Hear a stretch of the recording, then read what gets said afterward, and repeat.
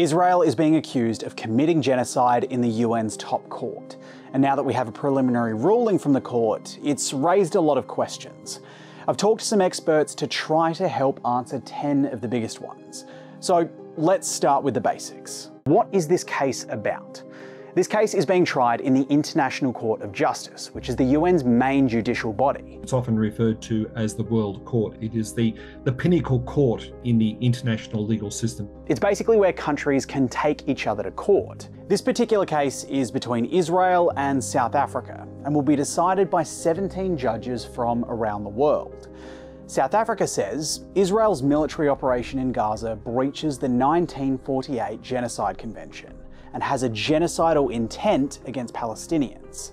In its argument, it refers to things like the high number of Palestinians killed, the displacement of the vast majority of the population, the restriction of aid, the attacks on healthcare workers and hospitals, and public statements made by Israeli officials inciting genocide. Israel, meanwhile, argues that it has the right to defend itself and says although the civilian suffering in Gaza is tragic, its military operation is following international humanitarian law, and that its true intent shouldn't be taken from what it says are random quotes, but from official government policy and statements made by its leaders, which it says demonstrate the opposite of genocidal intent. For example, the Prime Minister repeating that Israel is targeting Hamas and not the civilian population. Question number two Why is South Africa involved? Because of the seriousness of genocide, any state that recognises the Genocide Convention can bring charges to the ICJ, even if they're not directly involved. And South Africa has a long history of supporting the Palestinian people. However, experts say the likely reason why South Africa decided to take the lead in this case was to avoid any legal complications that may have slowed things down. Palestine has brought a case to the ICJ before and recognises the Genocide Convention, but it's not a fully fledged member of the UN and is not recognised by Israel as a state, which many experts speculate would have resulted in Israel refusing to participate in the case. Israel simply wouldn't have shown up had Palestine brought the case. Now, why has a ruling already been made? Cases like this can take years to reach a final ruling. So, in the meantime, South Africa requested what are known as provisional measures. These are basically emergency orders that the court can hand out to stop a situation from getting worse while a case unfolds. South Africa's main request was asking the court to order Israel to stop its military operations in Gaza. In other words, to order an immediate ceasefire. It just says, look, there's a risk here that if we don't step in and make these emergency measures, things will get so much worse that our eventual judgment won't have any effect at all. Israel, on the other hand, requested that the court dismiss the case altogether. The ruling that we've just received has to do with these specific requests and is only an interim ruling. It's not a ruling on whether or not Israel is committing genocide. Like I said, a final ruling on that is still a long way away. Just as a quick side note, the reason why this case is solely focused on accusations of genocide and not accusations of war crimes, for example, is because war crimes are outside of the jurisdiction of the ICJ. War crimes are defined by the UN as violations of international humanitarian law that incur individual criminal responsibility. The ICJ is not a criminal court, and it's set up for disputes between states, not individuals. Charging an individual with a war crime is something that's usually handled by the International Criminal Court, which is a completely different organisation that follows a completely different legal process. So, what was the interim ruling? The ICJ denied Israel's request to dismiss the case. It accepts South Africa's arguments that there's a plausible case that genocide has occurred and may be occurring right now. It also granted most of South Africa's requests, except for its main one ordering an immediate ceasefire. Instead, the court has ordered Israel to do everything it can to prevent acts of genocide, as well as stopping comments that may incite genocide.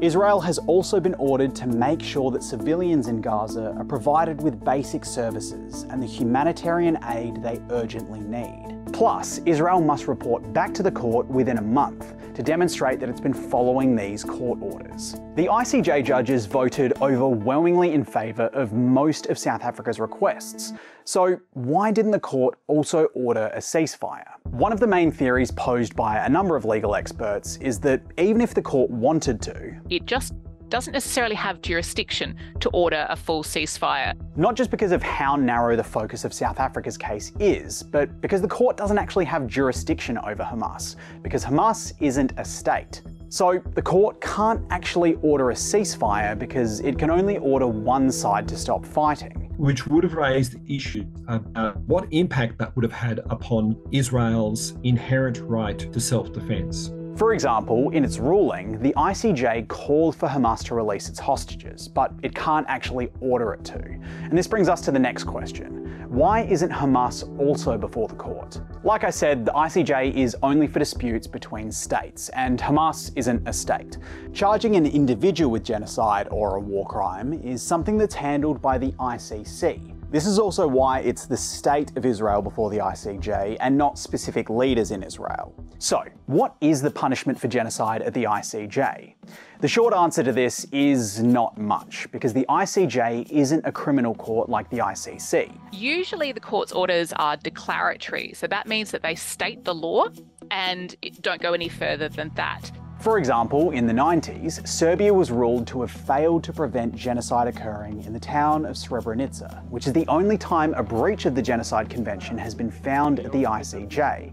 The result of that ruling was basically stating what the breach was, ordering Serbia to follow the convention in future, and to cooperate with cases involving individuals accused of genocide. The court can also order a country to pay reparations, but an important wrinkle to all of this is that even though ICJ rulings are binding and can't be appealed, the court doesn't actually have any power to enforce anything and relies on countries acting in good faith.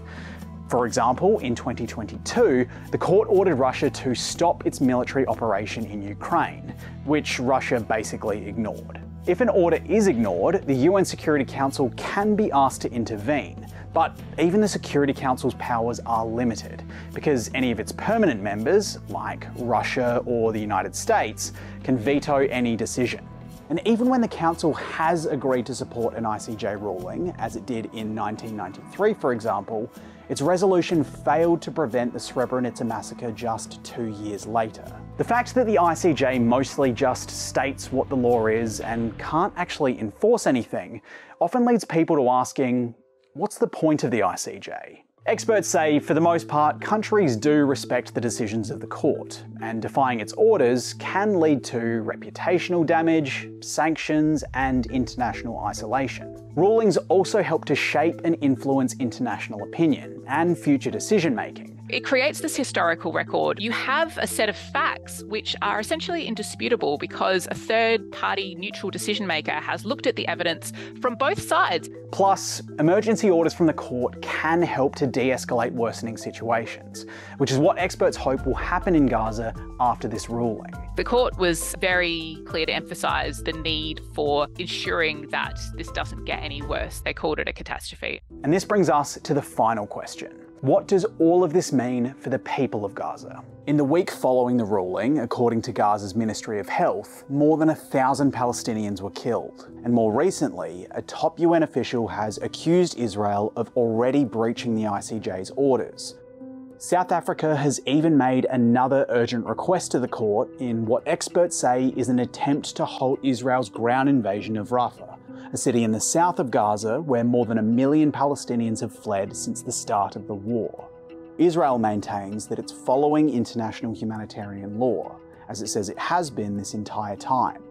Mediating countries are still hopeful that a ceasefire deal can be reached, but Israeli PM Benjamin Netanyahu says Israel's military operation in Gaza won't end until it eliminates Hamas. Many experts say the most concrete order by the court that may lead to some change is the one relating to humanitarian aid.